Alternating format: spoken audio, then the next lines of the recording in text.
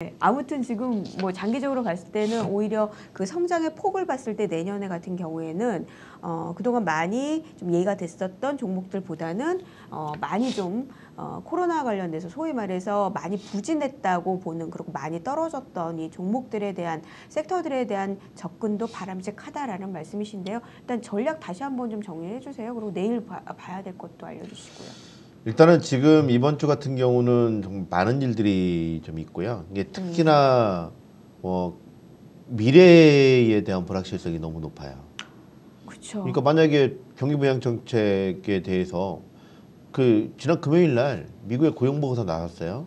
정말 나빴어요. 특히나 택배하고 건강 관리 쪽만 증가를 하고 나머지는 제한적인 음, 거기도 또 편중됐네. 그렇죠. 네. 그러다 보니까 이제 시장은 어떻게 해석을 하냐면 야 이렇게 나쁘니까 지네들이 빨리 하겠지. 음, 거기다가 이제 바이든이나 펠로시 하원 의장이 또 중간에 어 자 봐라 고용 보고서 이렇게 나쁜 게 나오니까 지금 빨리 너희들 합의를 하자 음, 이런 식으로 나왔거든요. 음, 그래서 이제 거기에 대한 기대가 높아졌어요. 근데 이제 그대로 진행이 되면 이번 주에 타결이 돼야 되거든요. 네. 왜냐면 11일까지 뭐 예산안 통과라든지 이런 것들이 돼야 되고 왜냐면 셧다운이 되니까 음, 이제 그런 것들이 있어서 어느 정도 거기에 대한 그래서 이번 주에 타결이 되면 좋고 안 되면 또 변동성도 커지고 음, 음, 그다음에 또 하나 있죠 미국 어, EU EU 정상회담? 아 정상회담. 예. 네, EU 정상회담이 있는데 여기서 브렉시트와 관련된 어. 원래 지난주에 끝났어야 돼요. 근데 주말에 어떻게 나오냐면 어 뭐 EU하고 영국하고 자기 말이 틀려요. 음, 그래서 이제 오늘 또 이제 존슨 영국 총리하고 네. EU 집행위원장하고 또 전화로 어. 협상이 좀 있는데 네. 이게 또 어떻게 되느냐에 따라서 파운드하고 유로화의 약, 그 약세 이슈도 있거든요. 음. 이렇게 되면 달러가 강세를 보이면서 네. 시장에 또 영향을 줄 수 있는 거. 그다음에 물론 이제 22 통화정책 회의 같은 경우는 기대는 있죠. 왜냐하면 음. 추가 병책 쓴다고 했으니까 아, 돈 푼다는데. 그래서 서- 어, 시장 자체는 전체적인 지수 자체는 그냥 박스권에 바- 음. 잡혀 있는 상황에서 상승과 하락이 좀 큰.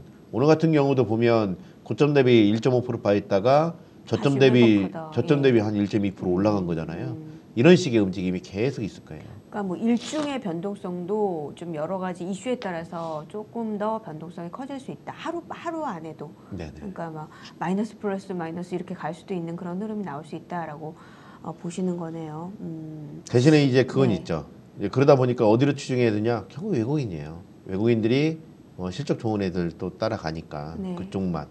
그게 아니면 그냥 한 발 물러서 있는 게 낫죠. 음, 그러니까 빠르게 대응하지 못하면 외국인들 쫓아서 빠르게 대응하지 못하면은 좀 더 관망하시는 것도 나쁘지 않다라는 말씀을 해주시는 거네요.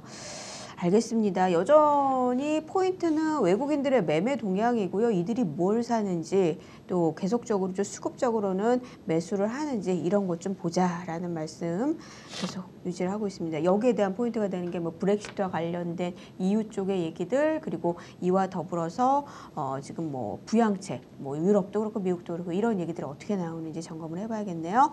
요즘 사람들이 키움증권에서 펀드 사는 이유 누구나 선취 판매 수수료 0원